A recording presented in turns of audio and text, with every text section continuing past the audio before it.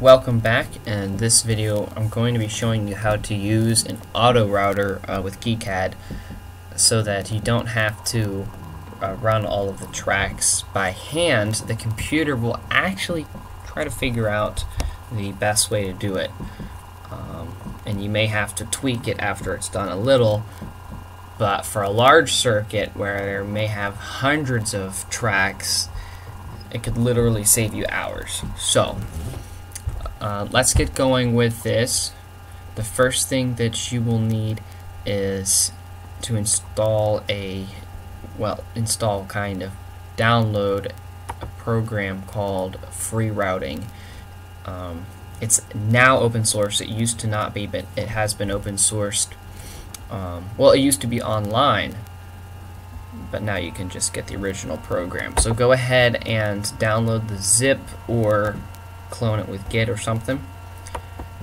And when you extract it, you will see uh, a binaries folder inside. We want that. And then you want to take the jar file, copy or um, make a link. I chose to make a link to leave the original one there. And rename your link uh, free route. Oops. Free route. And what are we going to do with that? Well, let's go back to the KiCad program.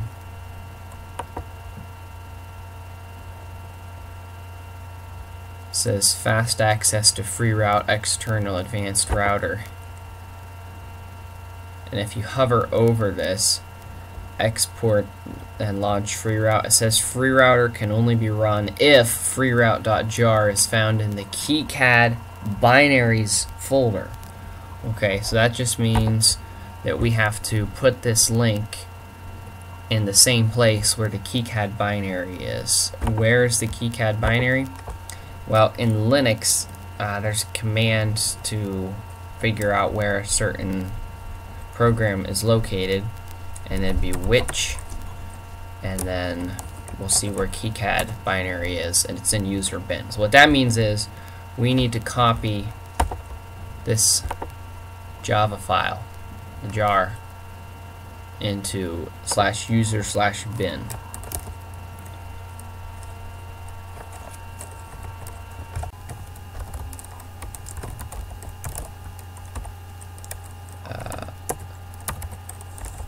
free route. I already have it there, you know.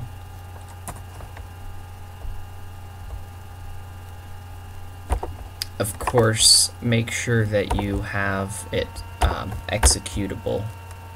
It might not be by default, I don't know.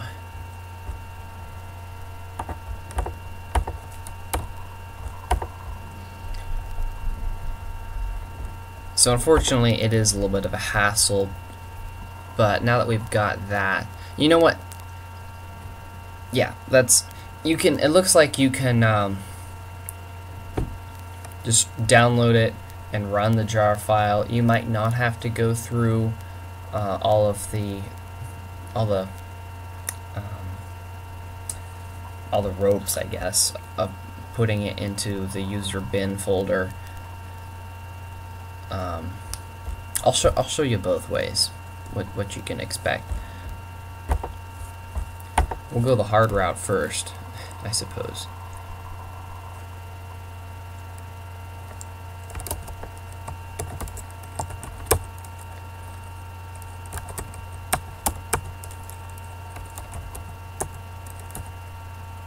Oops, binaries, not libraries.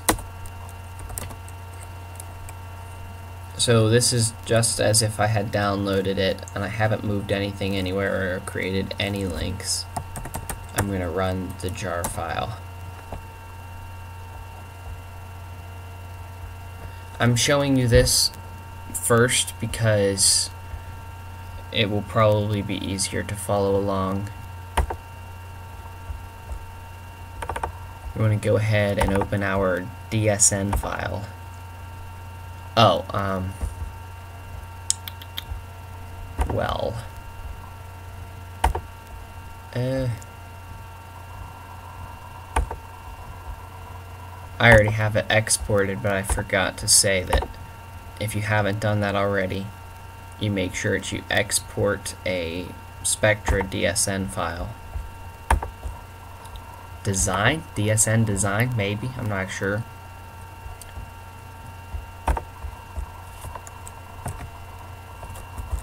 And then you can run the Freerouting program. You'll actually be able to open it.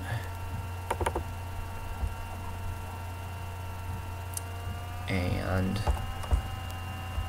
so it doesn't look quite as pretty as KiCad, but I mean that's not so important. And you literally just hit the auto router button and it wires everything for you. Now I would like to take this blue trace that's on the, the back and put it on the top. Um, but I'll do that in KiCad. And we export, you could do uh, save as, but we actually need a Spectra session file, so it took me a little while to find that button. Now you can just save and quit. And we're done with that. And then you back import the session file. Okay, so KiCad does not have its own built-in router, and that means it's connecting out with another open source program. That's kind of the beauty of open source is that all these programs are pluggable and they're modular and they work with each other and you'd never have that with proprietary software you know from different companies but um, it works with FreeCAD the, the downside though is you have to operate within separate programs and import and export. They may in the future smooth out this process a little. Um, I think they're still getting over the some of the bumps of free route not being available online and going open source, all of that kind of threw a curveball, but um, I'm hoping it will be more seamless in the future. So anyway, there's our uh, ground trace that's green because it's on the wrong side and I can delete that and retrace it. But I want to show you what will happen if you do go ahead and put the executable where it can find it. So we're gonna, uh, you know, I don't, I think I'm just gonna have to re-delete all this.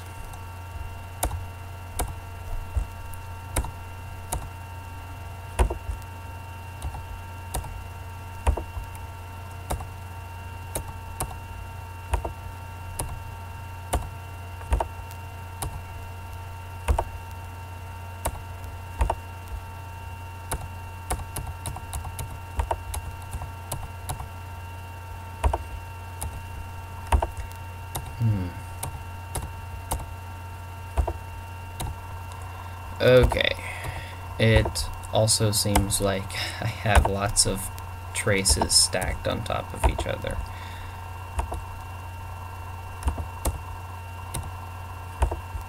Alright. Sorry about that.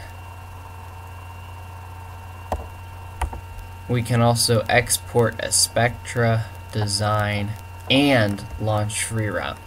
So this was their attempt to make it a little bit more seamless if you install, if you download the free route binary and put it in your, it, basically put it beside wherever the, the KiCad binary is, then it will go ahead and import it. Now my thought with that is, it wasn't actually that much harder to just use free route by itself you know, I haven't saved that much time just by being able to click that middle button. But, oh well. Might as well, I guess.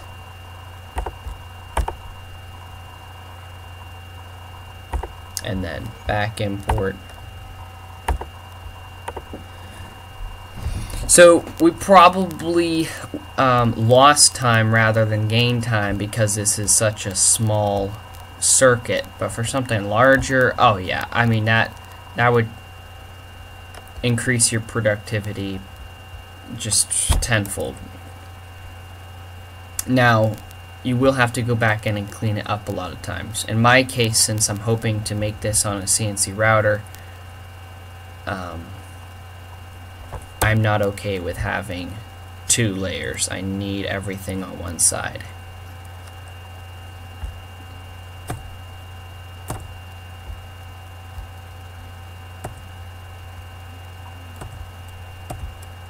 That's fine. We're done already.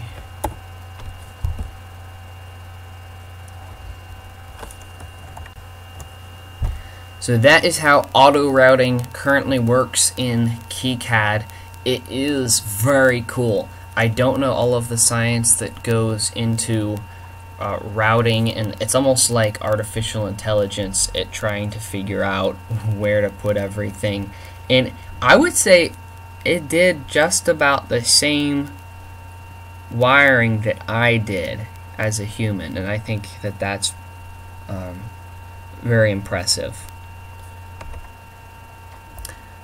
I did want to make a comment that I figured out a way to change the trace thickness from the design rules and have it update everything.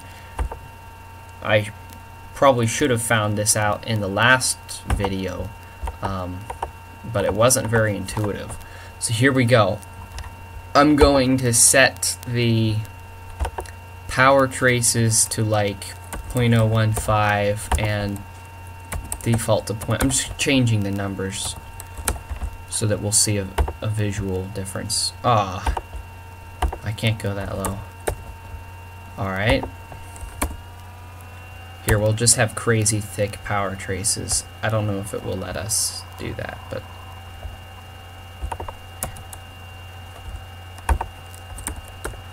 I'll just make everything 0.02, something like that.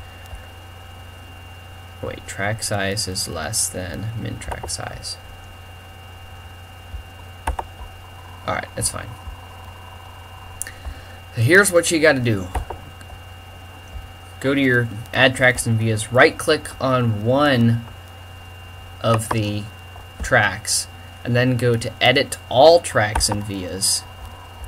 And then instead of current net, set uh, go to the next option set all tracks and vias to their net class value alright so if it's ground it will redefine it to have the net class width for ground if it is plus 15 volts it will redefine it to have what the design rules say 15 volt line should have something like that and when I hit OK everything should update and I have to hit yes first I'm moving things out of the way so we can see it update. Ha! Alright. so that's another time saver. I wish I could have. I wish I knew this when I was making the routing video, but if you stuck around for this video, you just learned a joule. So, and, and it's it wasn't that intuitive to find out. Um, I, I think it's a little bit strange that in order to update everything, you have to click on one of the tracks and then go through all sorts of options. But it works, and it's pretty fast. So that's enough fooling around for this video. Um, there's still plenty of other topics to go into with KiCad. Um, I do have an idea for what I'm going to do next video. We might get into some 3D rendering with the circuit board, so that'll be fun. I'll see ya next time. Thanks for watching.